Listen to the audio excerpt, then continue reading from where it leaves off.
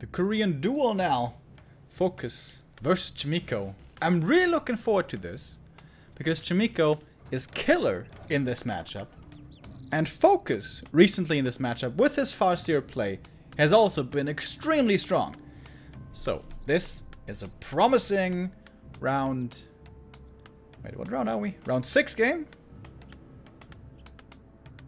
Yes, round 6 game between the two Koreans. Let's head in.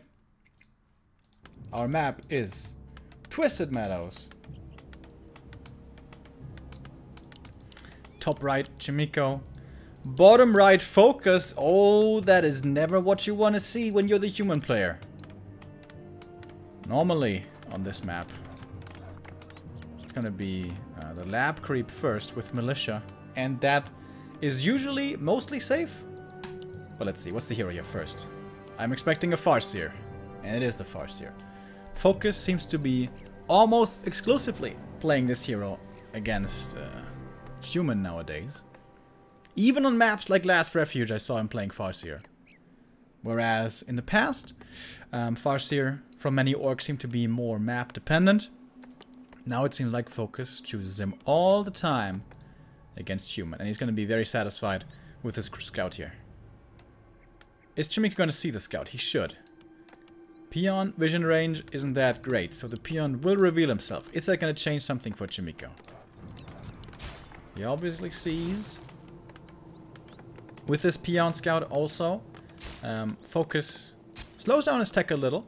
Oh wow, it's uh, peon scout plus second burrow. So the tech is actually going to be quite a bit later, but it's going to be plenty of grunts out early. And the peon is staying around. He doesn't want the footy to pull off uh, the rock golem pull. And the AM, okay. Chaemiko says, no, we're not doing this. And it's creeping the green camp instead. That will be a safe camp. That will be safe experience. But you need level 2 with the AM pretty quickly. Otherwise he feels awful. Ideally you want level 3 by the time you reach tier 2. But with this, beginning into the game, this seems to be utterly impossible. Tech is coming now for focus. Early Arcane Tower, by the way. Chaemiko not too greedy, not waiting for tier 2 to start to then go for the Arcane. So it's all about trading early on. This is the advantage for Orc. Orc can afford to trade, Orc can afford to lose HP, Orc can easily heal up again with heal salves. Human not so much. So the AM needs to pay attention. And needs to make sure he's not copying too much damage here, otherwise the mid game is going to be scary for him. Shop is coming now. More grunts on the way. And this is going to be a very light creep game. As it oftentimes is the case on Twisted Meadows. Kind of seems counterintuitive. The map is so big. There's so many creep camps.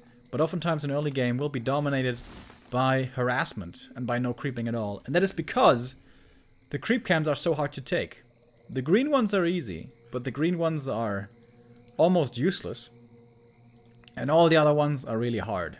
So, this is why early on, oftentimes here we see attack. this slow of a level progress. Three grunts now though already. And Focus is trying to do his own rock golem pull. I love this. The wolves are chasing the AM, so he always knows where he is. This accomplishes two things. First of all, Focus knows he's not going to be harassed here. And second of all, Focus knows he's not losing an opportunity to be aggressive because he knows the AM isn't doing anything anyways. This is so good. Oh, this is so beautiful. This early game for Focus is so outstanding. This is a big lead for Focus. Not much has happened so far this game, but this is a big lead. AM actually does come in in time here to be a little aggressive, but it's a level 1 AM. With just a couple of footies which are over here. This is not scary. Stealing some last hits is the best thing that Chaemiko can hope for. That's the Farseer though We'll pick up most of this camp. That will be his level 2. And with that, Chain Lightning. Tier 2 about to finish. Oh yeah, the overlay was... Uh, Swapped. Sorry, guys.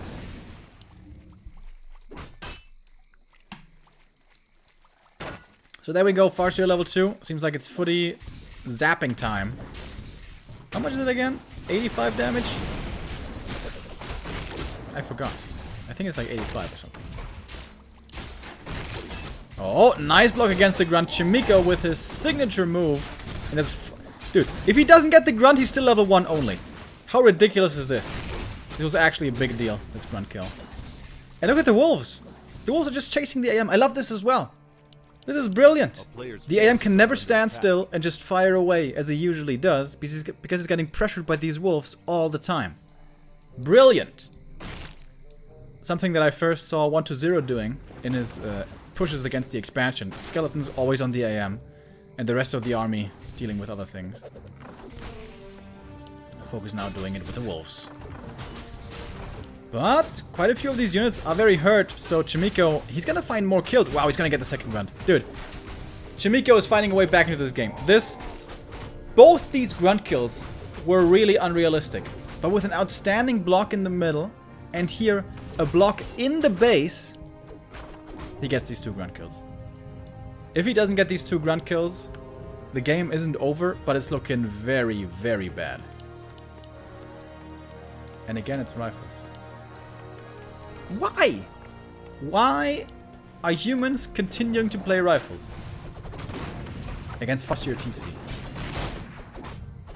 Isn't mass casters just way better? And the Alchemist second, by the way, of course, uh, which I neglected to mention so far. Trying to be very nice against the heal spray, but it certainly doesn't have the same aggressive potential as an MK has with Clap. Creepjack coming in again and focus. My god, focus. He's looking so insane this game. These two grunt kills, again, are keeping Chaemiko in this game. But it's not easy.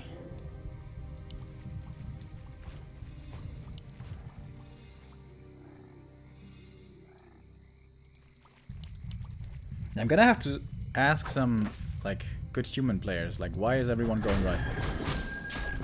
I don't get it. Chat is suggesting Wind Riders, but just one tower in the main keeps you safe against Wind Riders, maybe two. And Wind Riders really aren't the best fighters. If they get slowed or shackled, they're kind of trash. Alright, Chaemiko pushing here very boldly, without a TP, with only level 2-2 heroes. Focus, what's it looking like for him? 2-2 as well. 40 supply for the Orc. 46 actually for Chaemiko. Again, those two grunt kills. Those two grunt kills. A player's forces are under attack. Oh, interception though. One rifle kill for free. Always gonna back up. Did you forget about the burrow? I know. burrow just finished for focus. Now he can over can go over 40. Kotobi's coming.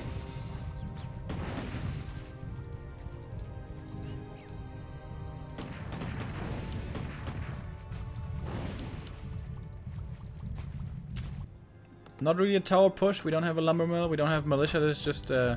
Oh, no, we do. Okay. Militia here. But this burrow is already putting in some work. Towers are coming, but it's gonna be a while. And again, it's only gonna be arcanes. We haven't seen a single stomp so far, but the ideal target is the rifles in the back, of course. Oh, the repair was too late. And that's a big deal. The TC is actually taking a lot of damage. Focus has to go for a new shop very quickly. The Spirit Link was also late, so this TC took way more damage than he was supposed to. And he can't even connect. Good block. Excellent block with these peasants. So the TC can't reach the rifles in the back. And if there was a, uh, MK now, this would be scary for the TC. But with no Stormbolt being here, it's not that scary. And Snare's coming in. And another Stomp. Devour. One rifle dead. Right clicks, the next rifle dead. Oh, nice round with the peasant. That was pretty cool. Heal Scroll keeps that Kodo alive for a little bit longer. The wolves are coming in. Quick dispels. Nicely done. But the priest mana's dropping lower. Stomp coming in. And the AM dies during the stun before you can use the invul thanks to the chain lightning. And I think the alchemist is just gonna follow. As the raiders are chasing, they're pretty fast here with the aura. Early ensnare. Yeah, this is just pick off time now. And focus with this Farseer against human continues to look really strong. GG. No real chance there anymore for Chaemiko. The next win for